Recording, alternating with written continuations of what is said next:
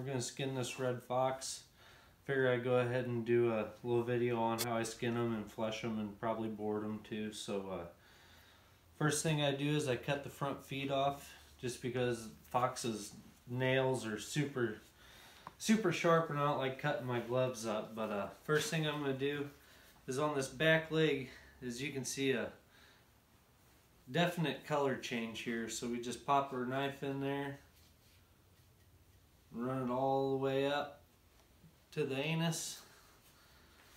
And then I do on both sides of the uh, on the on the tail here. Go ahead and get them. And then same with this back leg here. Just follow that color change all the way up.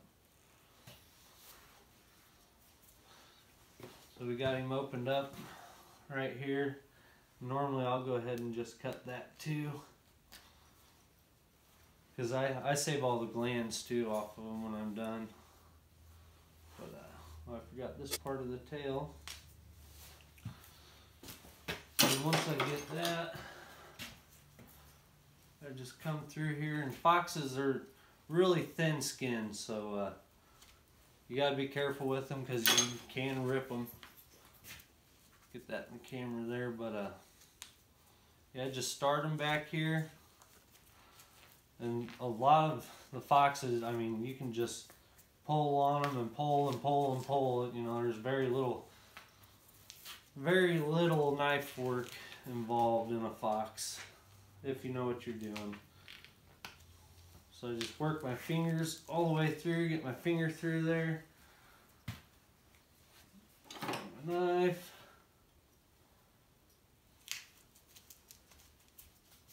And then just cut that there. Pull them on down. You want to be careful down here. You want to make sure you're on your cut and not ripping the ripping the fur here. Right there. See there's a little pocket that goes up in there. But uh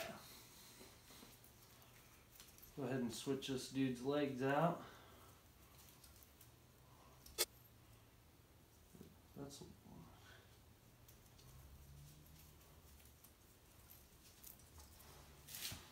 do the same thing with this side, just kind of get your fingers in there and work it around.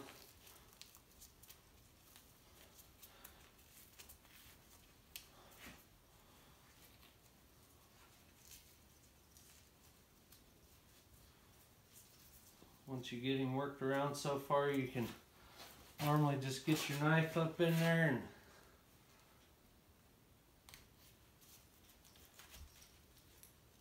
cut that right off. I don't worry about my legs really on if I keep them short or long. I take care of that once I board them. I'll uh, go ahead and trim them up to size and make sure they're all straight and everything. And this is a male here. So I'm just going to kind of work that down.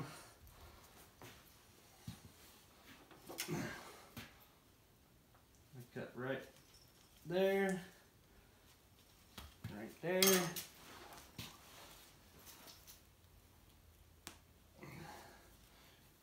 ahead and pull all that off. Looks like we got a testicle somehow. We just cut that skin there.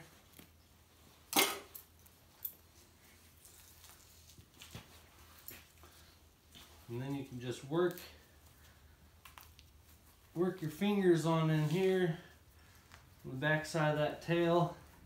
You know, you can try to put a steel in there and pop it loose a little bit, but they're so thin skinned, I don't, I don't really care to do that take our knife, ream around the tail just to kind of free all that up.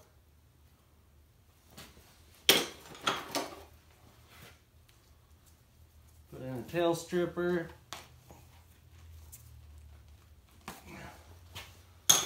Pop that tail right out.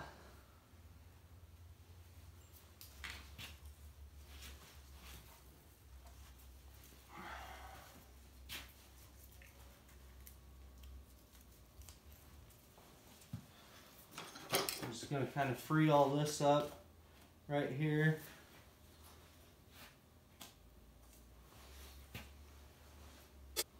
Man, the, this this fox here has got a real nice, real nice fur on him, nice and primed up. Today is the 26th of January, and the fox are looking dandy. But uh, I went ahead and pulled traps today just because I, it's supposed, temperatures are really supposed to plummet, get wild. See, once you get so far down, you can just keep pulling.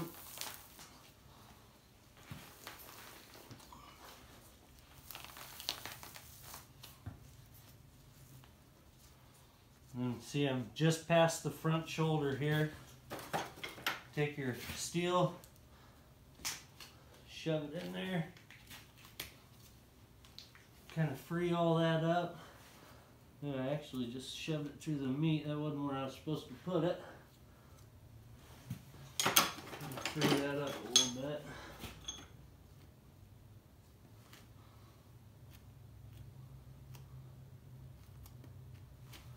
You know, like I said, you can rip these hides.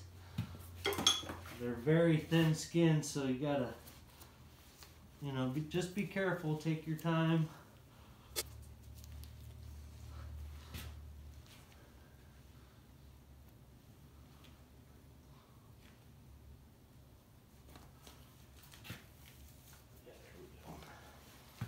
See, once I get that all freed up, I just put my thumb in and pull up on the legs since we got the front feet cut off that just pops right out of there.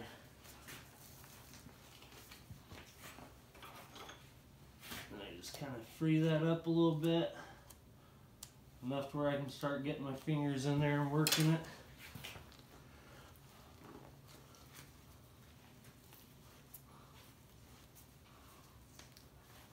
Like I said, if you guys know what you're doing, it's very little knife work. And see, I got a hole in there now. Just take that steel, push it down, pull it out. Go ahead and raise this fox up a little bit.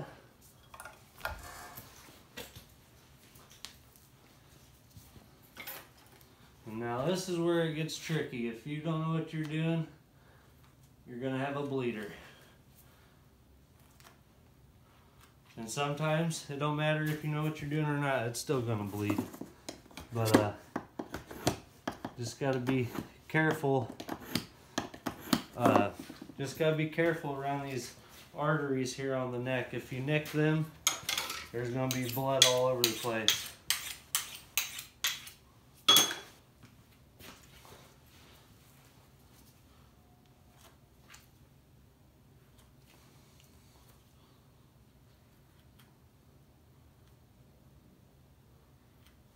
Like I said, they are thin-skinned animals, so uh, they do cut very easily too. You can put a hole in the hide quicker than you can say. So we pull her down a little bit. We're to the ears. I like leaving bigger, bigger ear holes on mine. It just seems like it's easier to get the cartilage out. For me at least.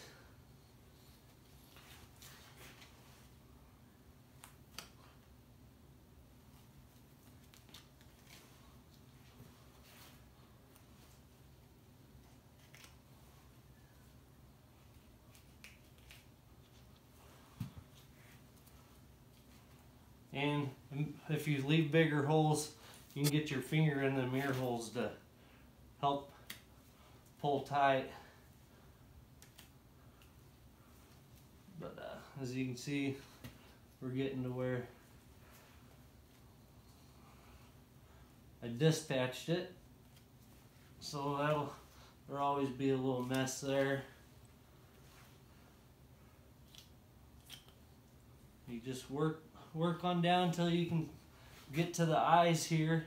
And you can pull it a little more, but uh, you know, the more you pull, if it's in a bad spot, you can start ripping. See, we're just working on down these eyes. There's an eye there.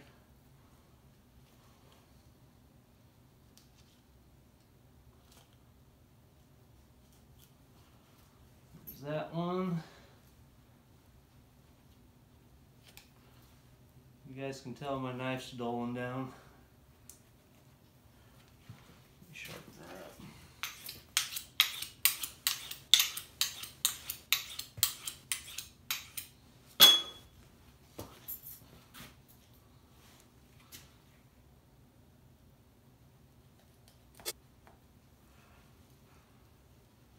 There we go.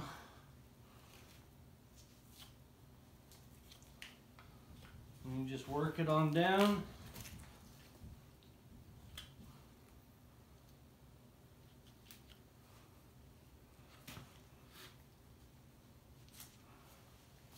Now we're at the bottom lip.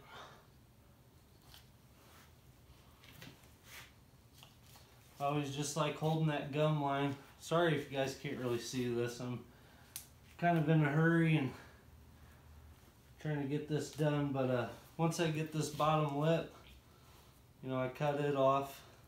It gets cut off in the boarding process anyway, so get that out of the way.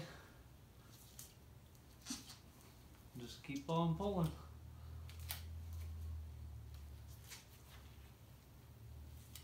Now we're at the nose.